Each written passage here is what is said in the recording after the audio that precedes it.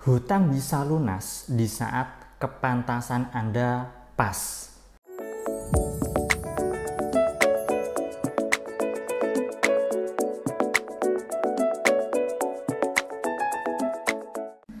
Assalamualaikum warahmatullahi wabarakatuh. Jumpa lagi dengan saya Salam dan salam berlimpah. Sahabat, kali ini saya ingin bahas tema terkait dengan hutang piutang ya. Bagi Anda yang saat ini sedang ada persoalan hutang, saya rasa Anda perlu nonton video ini sampai selesai. Nah, begitu banyak orang yang curhat ke saya terkait dengan persoalan ekonomi, terutama adalah terkait dengan hutang.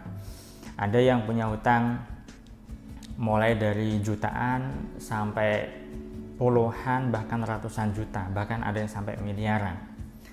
Nah, tentu saja ini sangat membuat orang tersebut yang punya persoalan hutang pusing, depresi, bahkan ada juga yang hampir ingin bunuh diri begitu. Nah, karena terlalu berfokus pada persoalan hutangnya sehingga apa? Yang terjadi adalah pikirannya itu dirundung oleh masalah-masalah dan masalah. Alhasil apa? Setiap harinya tentu vibrasi yang diakses itu nggak memberdayakan alias force dan pastinya lebih gampang ngeluh lebih mudah komplain dengan kehidupan, lebih kom, lebih gampang gresulo bahasa Jawanya. Tentu saja ketika sering kali ngeluh, sering kali komplain terhadap persoalan kehidupan masalahnya, maka tidak akan ada solusi. Justru sebaliknya, perlu menciptakan ketenangan diri dulu saat diri tenang, maka semuanya akan bisa ditangani dengan gampang kok. Ada salah seorang e, member saya atau peserta saya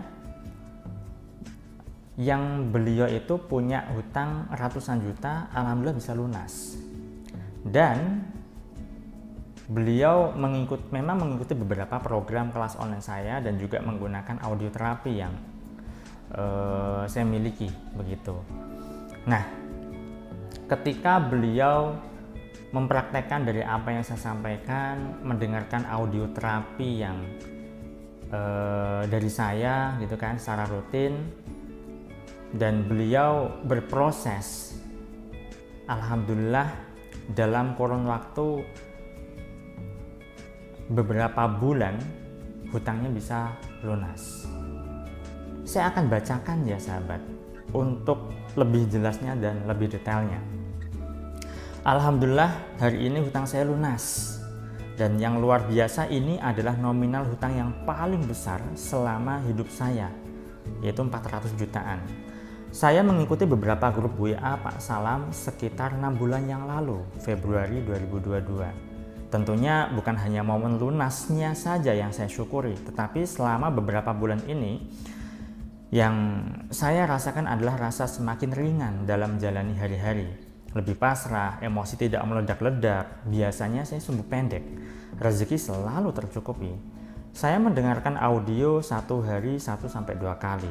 Besar harapan saya untuk teman-teman di grup ini supaya bisa terus saling menularkan positif vibes karena saya sangat merasakan manfaatnya. Terima kasih untuk Pak Salam, Mbak Lisa, dan semua yang ada di grup ini. Salam berlimpah, wajib nular untuk semua anggota grup. Amin ya Rabbal 'Alamin. Beliau kirim testimoni ini di grup audio terapi jualan laris ya. Saya memang ada beberapa audio terapi, termasuk juga audio terapi jualan laris dan ada grup supportnya. Nah, grup support ini adalah tujuannya untuk saling sharing, saling berbagi vibrasi positif begitu. Nah, di sini ketika Anda mendengar testimoni yang saya bacakan tadi, beliau mengaku bahwa sudah mengalami perubahan yang baik terkait dengan mentalnya, terkait dengan batinnya. Beliau merasakan keringanan, beliau merasakan sesuatu yang berbeda dari sebelumnya. Yang semula beliau sering kali gampang emosi, gampang marah, tetapi setelah beliau mulai berlatih dari apa yang saya sampaikan beliau pelajari gitu kan beliau mulai merasakan ketenangan batin Dan ketenangan batin itulah yang membawakan atau berdampak pada kemudahan melunasi hutang-hutangnya sahabat. Sering kali saya sampaikan bahwa sejatinya solusi itu bukan ada di luar dari diri kita, tapi ada di dalam diri kita. Saat diri kita sudah menciptakan ketenangan diri, saat diri kita sudah memperbaiki diri, maka solusi itu akan datang dengan gampang Sayangnya tidak banyak orang yang paham akan hal ini. Kalaupun paham tidak dilakukan, bagaimana caranya untuk menciptakan ketenangan di dalam diri? Ya, salah satunya adalah untuk ber, salah satu untuk bisa menciptakan ketenangan ketenangan di dalam diri yaitu dengan berdamai dengan diri. Mulai maafkan diri sendiri, mulai legowo, mulai menerima kondisi, mulai banyak penerimaan, perbanyak rasa syukur dan sebagainya Nah, sayangnya tidak banyak orang yang bisa dan mampu melakukan itu. Video-video saya sudah banyak mengajarkan tentang itu dan Anda bisa mempraktekannya. Nah, namun ada yang benar-benar merasakan manfaat dari apa yang saya sampaikan di video-video YouTube saya, ada juga yang tidak. Nah, yang membedakan adalah actionnya dipraktekkan ataukah tidak. Sama, tidak semua peserta kelas online saya juga berhasil merasakan manfaat dari apa yang saya sampaikan. Yang membedakan adalah mereka praktek ataukah tidak, mereka memahami apa yang saya sampaikan ataukah tidak, mereka menikmati prosesnya ataukah tidak. Tentu perubahan itu dimulai dari diri sendiri. Saya ibaratnya adalah sebagai fasilitator.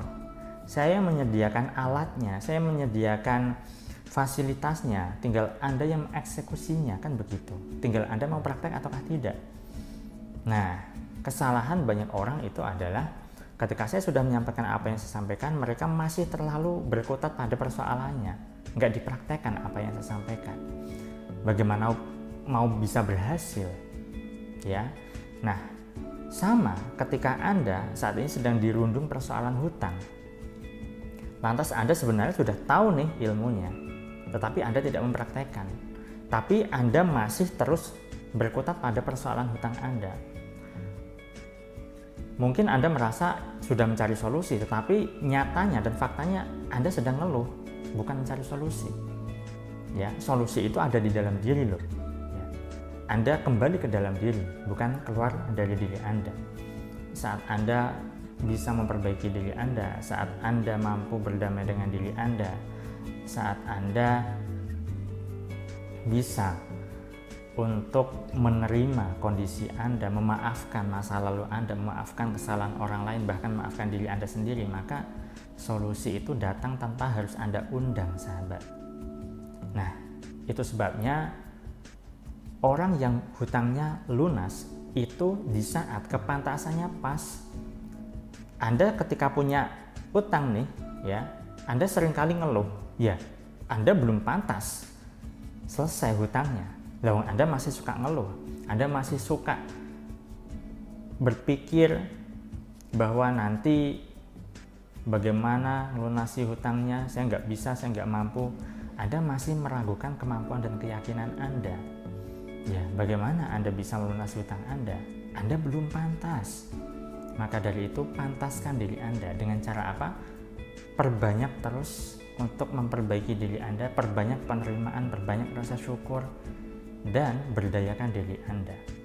Ketika itu semuanya sudah Anda lakukan dan Anda pantas, maka solusi bisa datang dari mana pun. Hutang Anda pun bisa lunas dengan gampang. Yuk mulai perbaiki diri, merenung ke dalam diri. Saya doakan agar hidup Anda berlimpah, agar Anda dimudahkan rezeki, dan agar Anda digampangkan segala hasil serta urusan Anda. Saya salam terima kasih dan salam berlimpah. Assalamualaikum warahmatullahi wabarakatuh.